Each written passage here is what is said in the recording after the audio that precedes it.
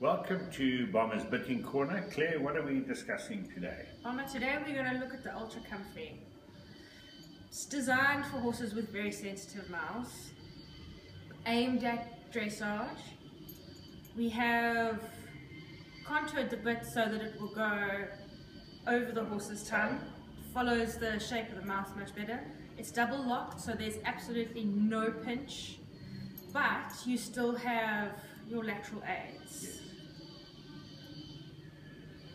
Very exciting new bit. Um, you're looking at pressure. We've reduced it now to two on the bar, none on the pinch, one on the tongue, total three. Um, this bit, in fact, is very exciting. We have sent it off for dressage approval with FEI. We're still awaiting their uh, response. Um, unique bit, the first of its type in the world, that we have got no pinch.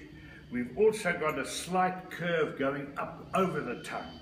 Dressage is very difficult for the intermediate horses to satisfy a horse with a sensitive tongue. And we believe this, once approved, will be an absolute winner.